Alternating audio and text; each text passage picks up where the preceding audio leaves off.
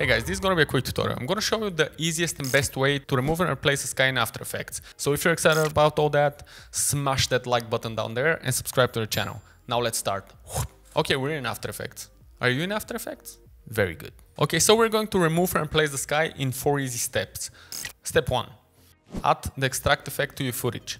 Change the channel to blue or to luminance. Most of the times it works in blue, but sometimes if it doesn't, you can try luminance as well. I'm gonna change it to blue. I'm gonna click on this one and move it left until we see the sky removed. And then I'm gonna click on the bottom one and I'm gonna bring it back uh, to the right a bit. This is basically gonna feather the selection a bit. Now as you see, we're missing a few parts of the ground as well. We just want to remove the sky, we don't want to remove the ground. So now we're going to duplicate the video and on the bottom video, we're going to remove our extract effect. Now we have the original video there.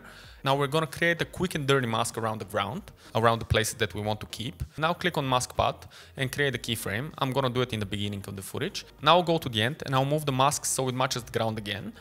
And now you can see that the mask is animating. So let's go back to the top video now. Now we're gonna add key cleaner. You're gonna have to play around with these numbers. It's not gonna be the same for every footage. And now you can still see that we have a pixel left on our building and uh, on the trees here and there. So I'll add a simple choker and something like 0.7 is gonna work for me.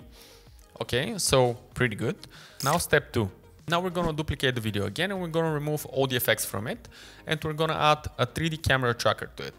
Now click on analyze and let it analyze the footage. Now select any three points from the footage and select either a camera and a null or camera and a solid.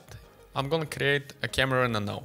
Now step 3, import your new sky, it could be a photo or video, it doesn't matter.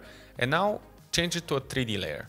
Okay, so what we're gonna do now is we're gonna send it back in Z space. We're gonna set the position to something like 40,000. It could be more, could be less. Just check with your footage, but as further away as you can put it, the better. Because basically our sky is super far away in the back, so we're, go we're gonna try to match that. Now that your sky is super far away, you can't see it, so we're gonna scale it. So scale it as much as you can, okay? And now that you look at the footage, can you notice what's wrong?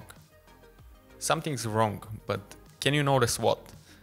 Okay, so what if I flip the sky? Boom, now it's so much better, right? This is probably the most important reason why a lot of sky removals don't work. And now you know why. You have to match the lighting of your sky to your ground.